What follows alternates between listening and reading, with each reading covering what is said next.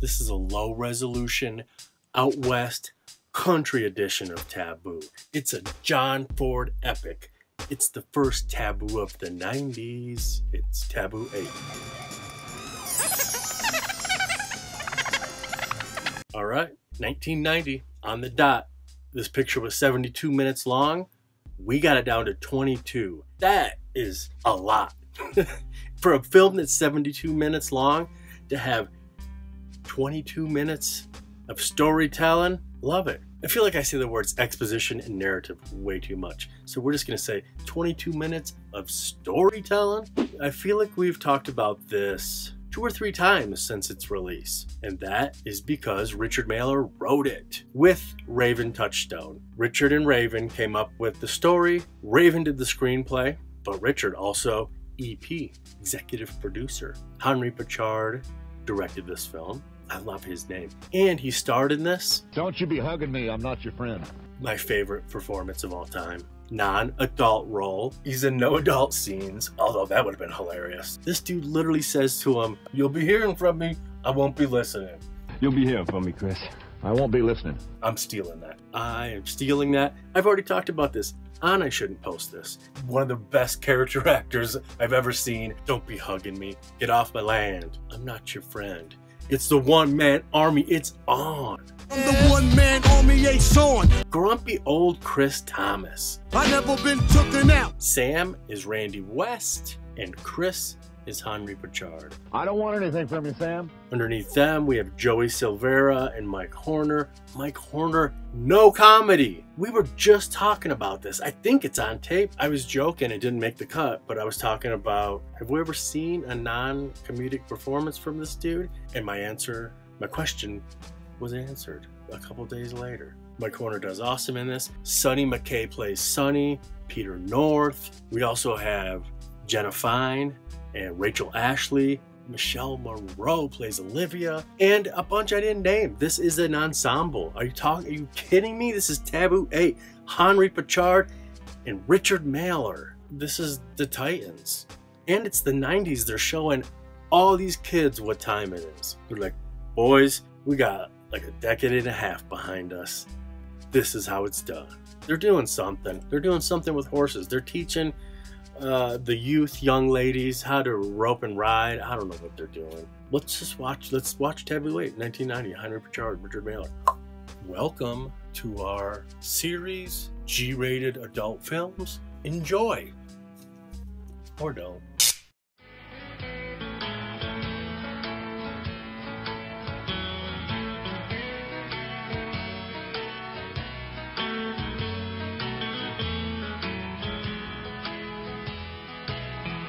Sad state of affairs when a man finally finds a woman to love and then loses her because of one foolish indiscretion. I wonder if Frank and Sonny read about it in the papers. No, they're not the type to read those scandal sheets. Besides, Sonny's too young. How old is she now? She was only five or six when I visited them in Australia.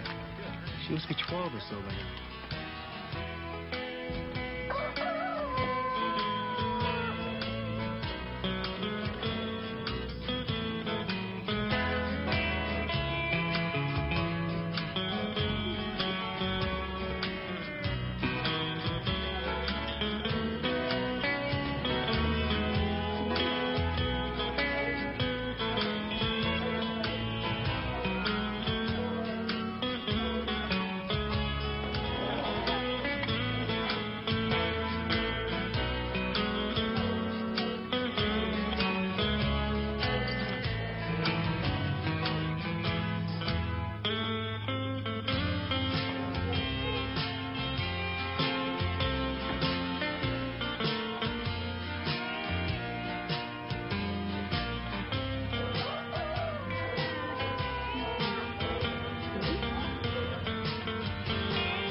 Wonder how Frank looks now. Older, I guess, like me. He's my brother, but I hardly know him. Half brother, really. But I hate the term half brother. We come from the same womb. He's my brother. Oh. Uh, is Frank around? Daddy, there's someone looking for you. Daddy? You're Sonny? Uncle Dalton? You're awful big for 12. Twelve? Gotta be kidding. I'm of age now. Yeah, I should say so. Uh, horse needs a little gas. Where can I get it? Doesn't need gas. Well, he had a little gas in the way. Dalton? Hey, Frank! How you doing? Right, mate. Hey, good to see you. Thanks for coming down, Dalton. Sure thing. I didn't want to leave Sonny alone, you know, uh, while I'm away. She hasn't been here very long. Uncle Dalton, where's your luggage? Uh, driver's bringing it down. I rented this here horse in Burbank. Decided to get the feel for the old West. You know, man and his horse, grist to the mills, Planning your next book? something like that. Chris, I think I've been fair with you. Now, what do you want? More power? Fine. I'll make you a partner in this venture, huh? I don't want anything from you, Sam. You go on, you build your condos any way you want to do. I do not want to participate in it. You just leave me alone. Chris, you know I can't build nothing until you sell me this land. Now, what'll it take? Nothing. I've told you for the hundredth time I don't want your money. It's not for sale. You'd best get off my ranch, Sam. Now, Chris, you gotta listen to reason. Don't you be hugging me. I'm not your friend. Chris, Chris, I want you to meet my brother.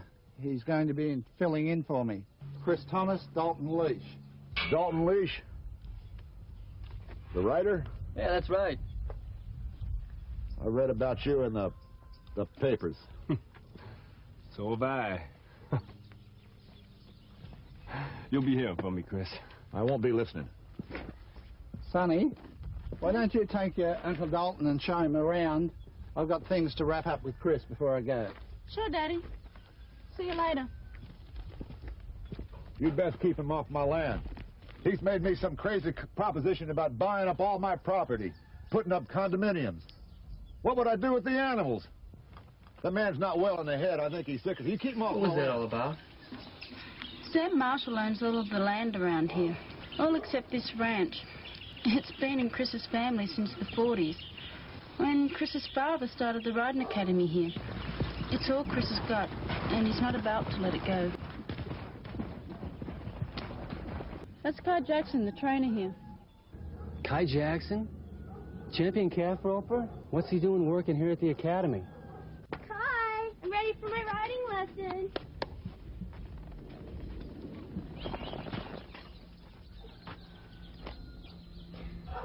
Pay attention, Kai. You might miss something. Like what? Like this might be your lucky day. Sam Marshall would like to see you. Sam Marshall? He owns half the county. How do you know him?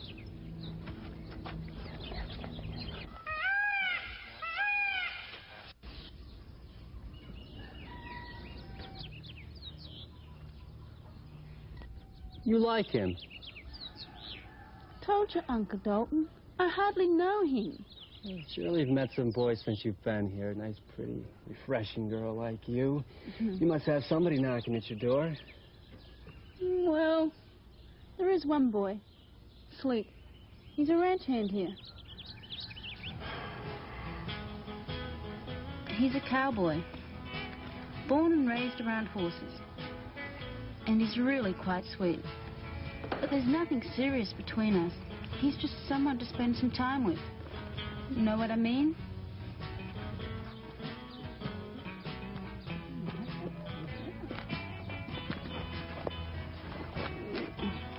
Take good care of her for me, Dalton. She's all I've got, you know. Don't worry, Frank. I'll keep her safe and happy. You can count on that.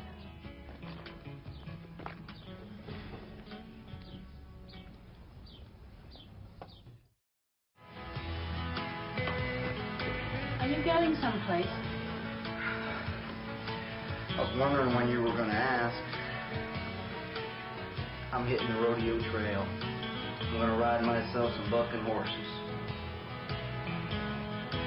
You can get hurt doing that. Sure, I can get hurt. Get all busted up. Hurt my back, my legs, my head. Don't you worry. If I could crawl, I'd come back to you. You would? Why? Because you're the nicest little woman I've ever known. I'm gonna make myself some money, take you away from here. Find ourselves a nice spread, have some little buckaroos running around there out in the dirt. Will you wait for me, Sonny? You're so sweet, sweet. I'm deeply flattered. But nobody waits for a cowboy. And besides, I don't want any little buckaroos. Little kangaroos? Just take care of yourself. I'll never forget you, Sonny.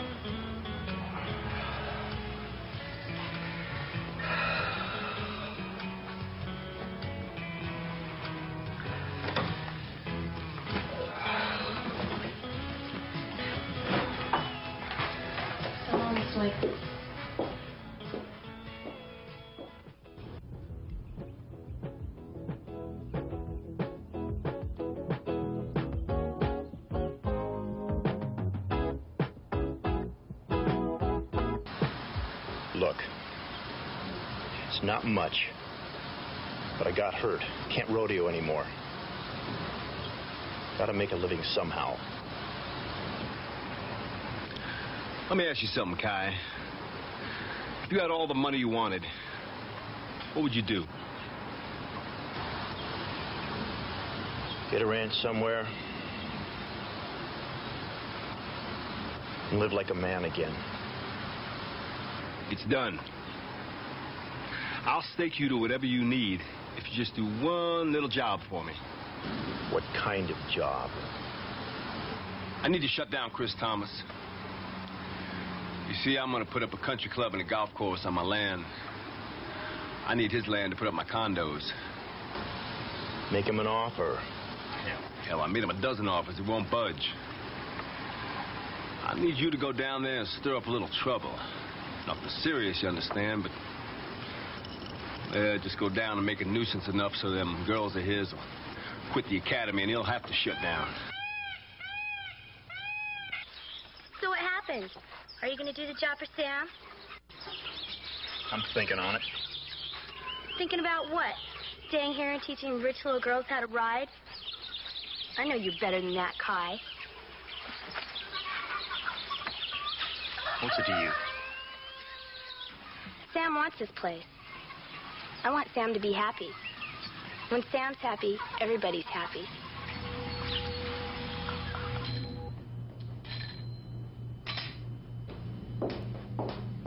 I hear you want to see me? Yes? Is it true? Some of it. You got a problem with... Are you accusing me of something? I just hope you're not one of those intellectual types that think they're above the laws of man. Not on my ranch. I get the message, Pop.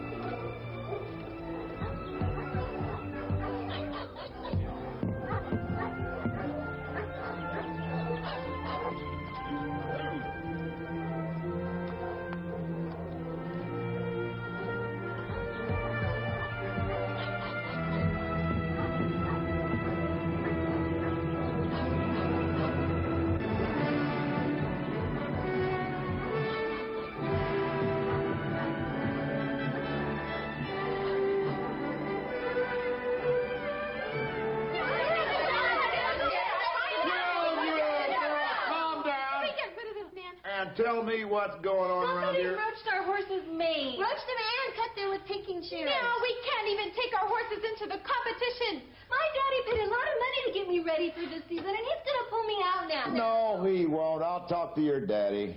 What about her uncle? He didn't do anything. What about Yeah, shouldn't we get rid of him? What for? He wasn't even around here when all this happened. He, he was with me you. in Lancaster. Now you girls get on out here. Let me get to the bottom of this. Oh, get! Yeah. Get out of here! Good God Almighty! Pinking shears.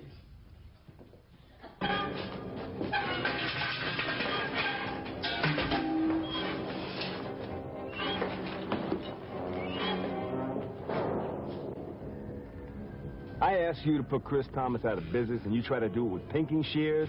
Who the hell you think you are, Coco Chanel? Don't knock it, Sam. It almost worked. Almost don't count. You know what I see when I look over this land? I see condos overlooking a golf course. I see a country club full of happy people, money just coming out of their pockets. But I can't make those people happy because I can't build the golf course, so I own all the land down there. Now, Olivia's working her end of it.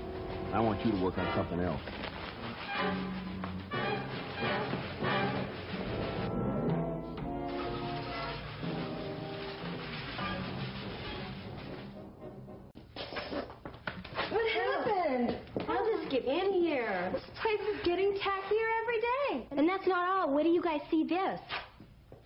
Hmm. How are we supposed to work with this kind of equipment? It's not safe here anymore. I'm going to Beverly Woods. Anyone want to come with me? I do, but I don't think my mom will go for it. How about you, Janet? Well, my dad really likes Chris, but maybe I'll bring him here and show him how things are falling apart.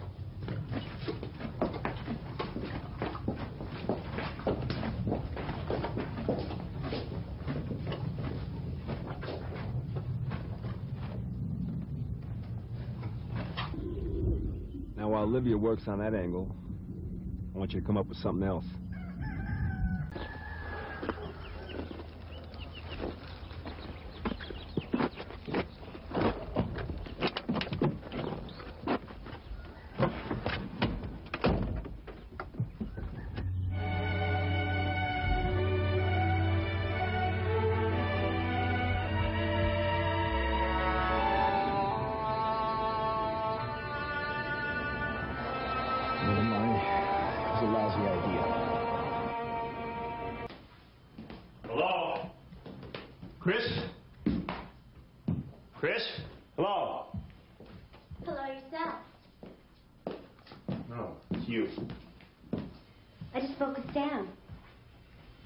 Wants you to cut to the action.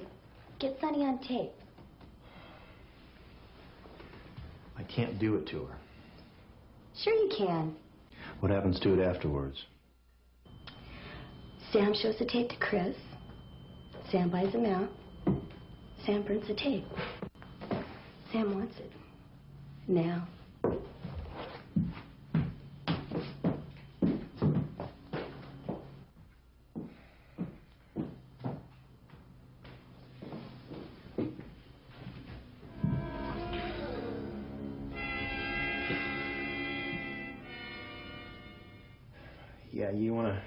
Your back and show your pretty face. Okay, yeah, now. She looks surprised now. Come on. Yeah, yeah.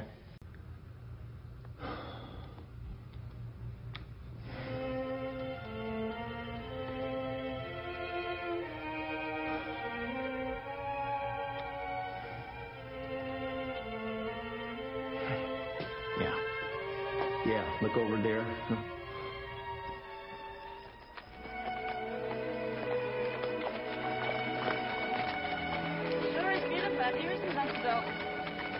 Sure is beautiful. Good. We're almost done.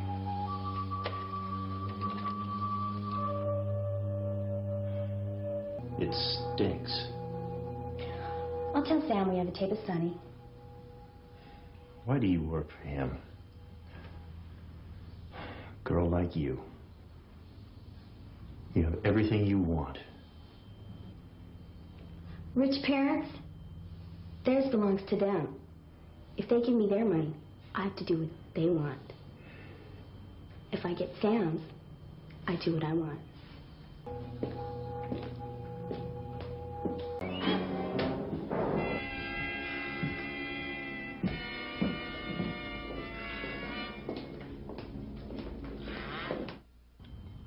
What are you looking at?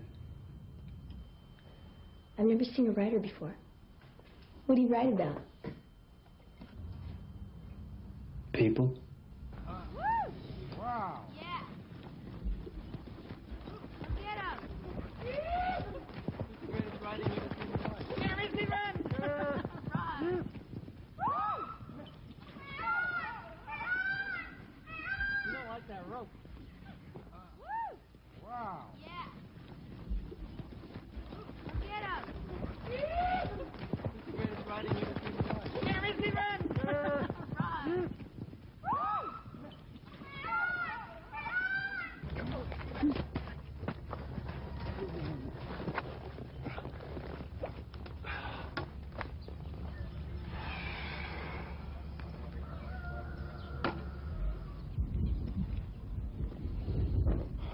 Whatever it is, Sam, the answer is no. I'm not interested. Get off my land.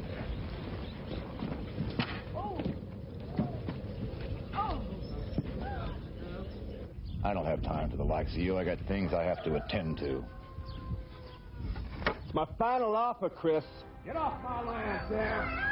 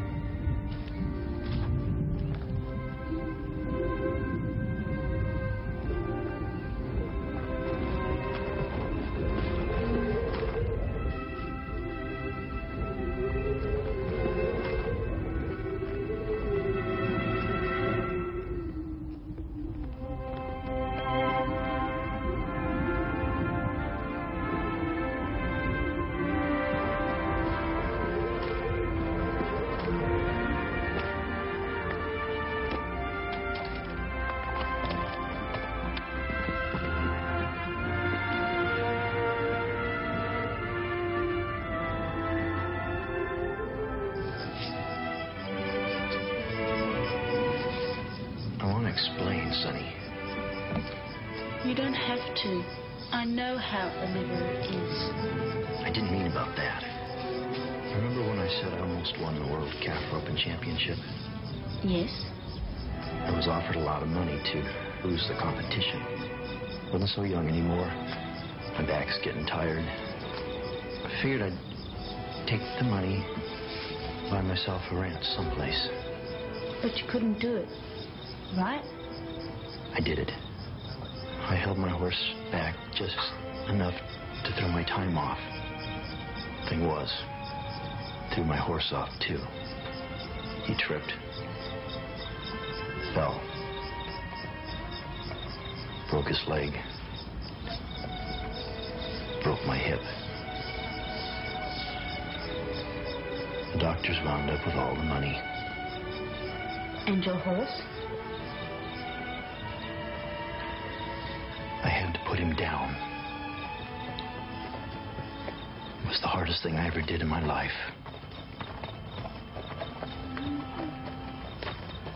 I haven't always been smart. But I'm learning.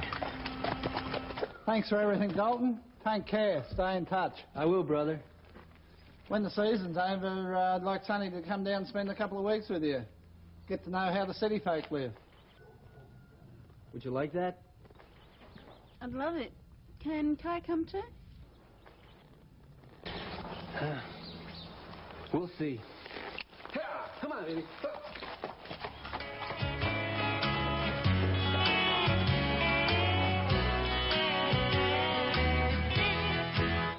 It stinks. All right. What did you think? I don't care. Talk amongst yourselves. I loved this movie. I've already done talked for 18 minutes I'm not going to do an outro. My outro is going to be formed with the outtakes from the intro. I'm letting you guys total peek behind the curtain. True 100% transparency, barefoot and independent. I should just segue into Hello, this is Jason. Welcome to I Shouldn't Post This, episode 71. How y'all doing? What are you listening to? What do you love and what do you hate? I haven't cut to Honey Wilder saying what in so long. Why? What? What? What? Huh? Ah, oh, that's weird. That's weird. I don't care. She's just so depressed in therapy. I don't care. I already said the story credit, right? Raven and Richard, and then they both went off to do their own job as well. EP, screenwriter, story by Richard and Raven, but Richard also EP, executive producer. So depending on the hierarchy of this set, Richard Mailer could have been the number one of the totem pole, being the executive producer. All sets are different. I've seen that the tippy top is this, this, or this. Mostly director, producer, executive producer. But uh, so depending on the hierarchy of their set, I don't know. I would hi- I would guess it's Henri Pachard, but it could have been Richard Mailer. Lot of sabotage, getting evidence on videotape. She's got a VHS tape. You know what he does? Hey man, hold up that VHS tape. Oh, you see the shadow? I want you to start on that VHS tape shadow and then pull out to relieve, relieve, reveal me and my VHS with my espionage, kind of espionage, sabotage. I keep saying words incorrectly. This was X rated. We got it down to G. I feel like I need to think of new ways to say that. Getting bored with myself. It was X rated. Now it's rated G. You'll be hearing from me. I won't be listening. He also says, Get off my land numerous times. This is up there with John Doe saying, Get out of my chair. I'm to write a book. It's to be called Get Out of My Chair and Get Off My Land. Hmm. The story of a half Swedish, half Native American artist. Thanks for watching. thanks for watching. I'll see you next time. All right?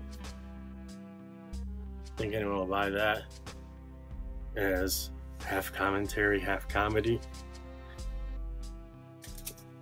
Power through, homie. Power through.